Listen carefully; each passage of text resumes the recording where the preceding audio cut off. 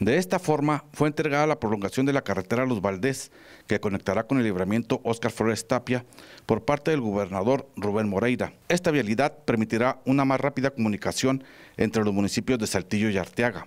Necesitamos ser más competitivos, mucho más competitivos. Necesitamos que venga más empleo para que crezca el mercado. Para eso necesitamos mejores universidades, ya hemos anunciado ocho. Otra cosa que es bien importante, amigas y amigos, es este tipo de infraestructura.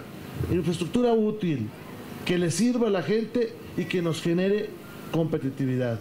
No olvidemos los tiempos que batallamos. Estos, estas eh, entonces eran brechas, hoy son este, eh, carreteras, eran lugar de pasada para muchos delincuentes. En esta ampliación se invirtieron 6 millones de pesos.